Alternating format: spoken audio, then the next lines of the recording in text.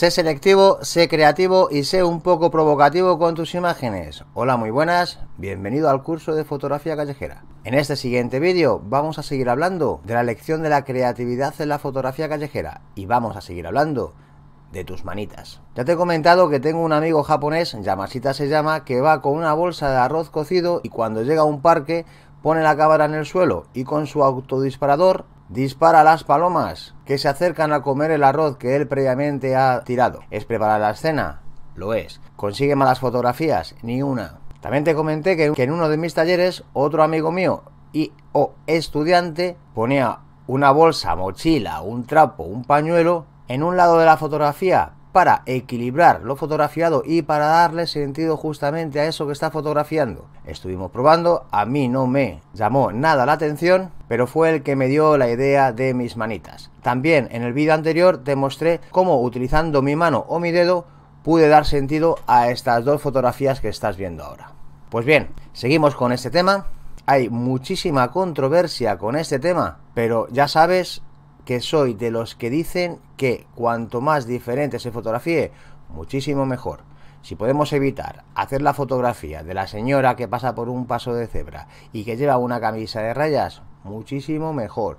Está bien hacerla para darte cuenta de que te has dado cuenta de un momento, pero esa fotografía ya se ha visto en millones de ocasiones. Como te he dicho, utilizar tus manos va a dar un resultado totalmente diferente a lo que fotografían los demás. Y puedes empezar con fotografías muy simples, fotografías que no dirían nada y que la mano a dar sentido a lo fotografiado. No son fotografías espectaculares las que te voy a mostrar, pero quiero que veas que sí que las puedes utilizar. Miran esta fotografía que hice a una niñita que iba en su autobús escolar, donde puse la mano solamente para guiar la mirada del espectador hacia la niña. Algo muy simple de hacer y que va a dar sentido a lo fotografiado. Es muy fácil hacerlo. O como esta otra, donde pasa una señora con su nieto a las espaldas, ambos con sendas expresiones de cansancio y que es mi dedo índice el que señala justamente esas expresiones. No son fotografías espectaculares, pero sí son fotografías diferentes y al final lo diferente llama la atención. Puedes empezar con ese tipo de fotografías que es súper sencillo de hacer Nada más que tienes que tener tu cámara y una mano disponible y pones la mano entre medias del sujeto fotografiado y tu cámara y consigues la fotografía. A medida que vas haciendo más fotografías de estas, vas a conseguir muchísimas más ideas y vas a ser muchísimo más creativo. Miran esta fotografía donde sí que hay un poquito más de creatividad que las fotografías anteriores, en la cual por la mañana en el mercado de pescado de Hong Kong este camión estaba vaciando agua del mar para las pescaderías que venden pescado vivo. Pues no tardarían más de 10 segundos en vaciar ese pedazo de cubo. Pero a mí en muy pocos segundos se me ocurrió el que tenía una botella de agua en mi bolsa y la utilicé para darle sentido a lo fotografiado. ¿Es una fotografía espectacular? No lo es. ¿Huele a calle? Pues ¿por qué no? ¿Está prohibido hacerlo? ¿Qué va a estar prohibido si aquí no hay reglas? Y el tener una idea en 5 segundos, el sacar tu botella de agua y ponerla para dar sentido a lo fotografiado, pues al final va a gustar al espectador. Los espejos nos van a ayudar y mucho para nuestros autorretratos y para utilizar nuestra manita. Va a hacer que el espectador se confunda. ¿Te acuerdas la cita con la que abríamos este tema y los anteriores? La gente dice que las fotografías no mienten, las mías lo hacen. Pues fíjate cómo puedes llamar la atención del espectador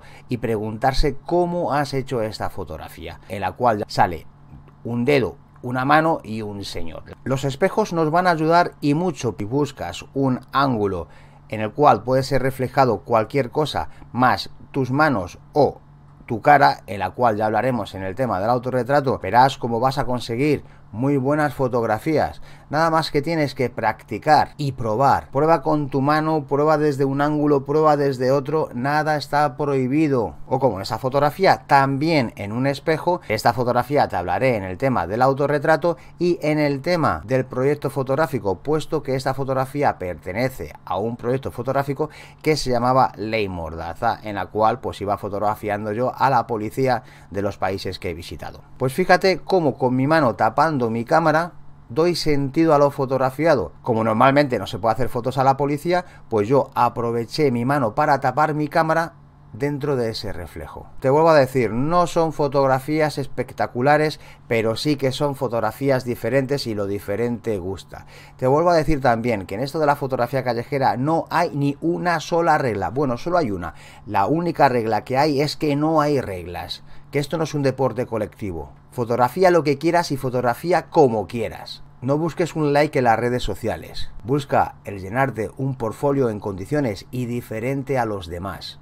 Sé selectivo, sé creativo y sé un poco provocativo con tus imágenes. Ya sabes lo que te voy a decir. ¡Ch, a darle duro!